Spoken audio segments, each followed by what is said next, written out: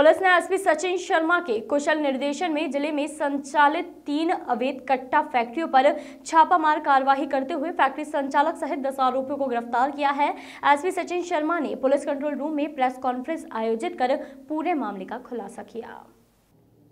तेजतराट sub inspector Orchha road थाना प्रभारी माधवी अग्निहोत्री ने बताया कि उन्होंने थाना ओरछा रोड क्षेत्र के ग्राम नारायणपुरा से सात अक्टूबर को अवैध कट्टा लिए घूम रहे सिक्सर उर्फ़ विक्रम परमार नाम के बदमाश को अवैध असलहा ज़िंदा कारतूस सहित गिरफ़्तार किया है। पूछताछ करने पर बदमाश ने बताया कि उसने लुगासी थाना नौगांव से नरेश विश्वकर्मा की फैक्ट्री से अवैध असलहा खरीदा था। ऐसा ही माधवी अग्निहोत्री ने एसपी सचिन शर्मा को मामले की की सूचना दी। इसके बाद एसपी ने मामले से जुड़े अन्य सुराग खंगालने के लिए तीन टीमों का गठन किया। इस टीम में लुगासी क्षेत्र के नरेश विश्वकर्मा की फैक्ट्री पर छापा रहा। तो यहाँ से भारी मात्रा में अलावा एवं औज़ार बरामद हुए। एक अन्य टीम ने थाना प्रकाश बमहोरी क्षेत्र के मुढ़रा में अजय तिवारी द्वारा संचालित फैक्ट्री पर छापा मारा। यहाँ से चंदवारी हार में संचालित कौशल विश्वकर्मा की फैक्ट्री पकड़ी। इस फैक्ट्री में से पुलिस पुलिस ने 10 कट्टे तथा भारी मात्रा में कट्टा बनाने वाले औज़ार जब्त किए हैं। फैक्ट्री संचालकों सहित सात कट्टा खरीदने वालों को गिरफ़्तार कर जेल भेजा है। एसपी सचिन शर्मा के निर्देशन में सीएसपी उमेश शुक्ला, डीएसपी प्रशिक्षु राजेश्वरी कौरव नौगांव टीआई के के खनेजा, कोतवाली टीआई अरविंद दांगी, प्रकाश बम्होरी थाना प्रभारी स्वर्ण प्रभा दुबे ओरछा रोड थाना प्रभारी माधवी अग्निहोत्री, हेमंत नायक, प्रदीप शर्मा, ब्रजेंद्र चच चचोदिया अंजना त्रिवेदी डीडी शाक्य गिरिराज राजा सहित तीन दर्जन सिपाहियों की टीम ने ऑपरेशन को अंजाम दिया।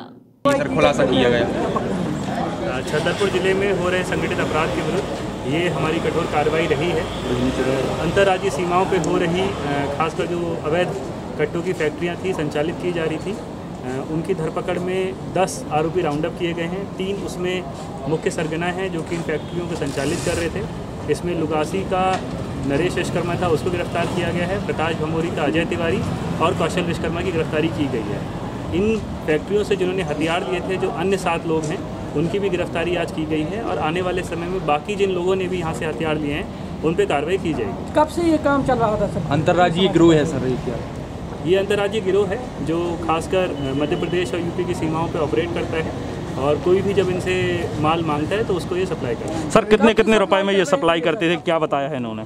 अभी तक की जानकारी के हिसाब से एक जो हथियार है वो ढाई हज़ार से पाँच हज़ार तक का बेचा करते हैं। अच्छा जैसे आचार संहिता लगी हुई है बड़ा चुनाव भी है तो क्या चुनाव में प्रयोग करने का निश्चय तो नहीं है इस तरह के चुनाव में? इसमें अभी तक इसमें अभी तक इस तरह की कोई बात निकल के नहीं आई है। हमारा प्रयास भी यही था काफ़ी टाइम से हम इसको डेवलप कर रहे थे। लुगासी के और प्रकाश भमोरी में इस तरीके की शिकायतें आती थी कि अवैध फैक्ट्रियाँ संचालित होकर ज़िले में लाई जाती हैं।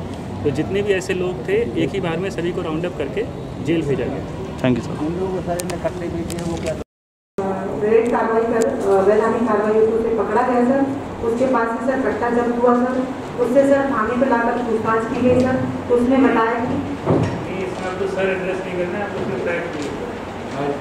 पूछताछ करने पर पता चला कि ये अवैध शस्त्र चौकी लुगासी थाना नौगांव के अंतर्गत ग्राम लुगासी में नरेश विश्वकर्मा एक अवैध फैक्ट्री का संचालन करता है। वहाँ से वो खरीद कर लाता है।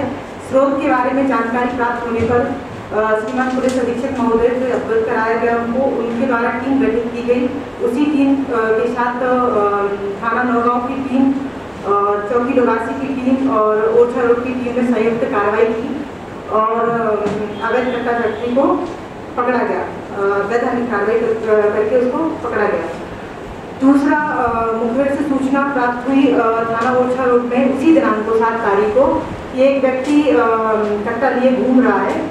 उसको ग्रेड कार्रवाई करके प्रदीप शर्मा ओरछा रोड में पदस्थ उनके द्वारा पकड़ा गया।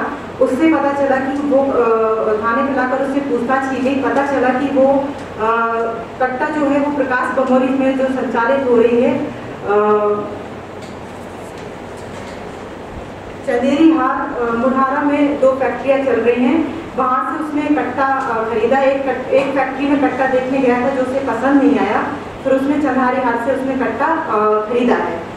उसी टीम में श्रीमान पुलिस अधीक्षक महोदय को अवगत कराया गया और श्रीमान पुलिस अधीक्षक महोदय के द्वारा जो टीम गठित की गई थी, उनका नेतृत्व डीएसपी मैडम गौरव मैडम ने किया, जो उनके द्वारा वहाँ पे प्रकाश भवरी की टीम के साथ संयुक्त कार्रवाई की गई और अवैध फैक्ट्रियों को पकड़ा गया।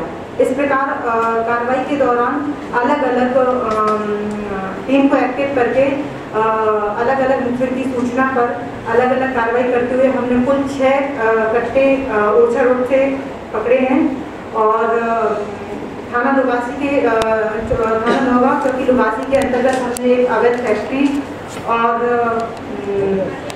दो कट्टा वहाँ बरामद किए गए थाना नौगांव की टीम के द्वारा और प्रकाश बमोरी की टीम के द्वारा दो अवैध फैक्ट्री जो संचालित वहाँ पे कौशल तिवारी कौशल विश्वकर्मा और अजय तिवारी द्वारा संचालन किया जा रहा था, उन फैक्ट्रियों को अवैध फैक्ट्रियों को पकड़ा गया और दो देशी कट्टे बरामद हुए। इस प्रकार सब तीन तीन फैक्ट्रियाँ और दस कट्टे बरामद किए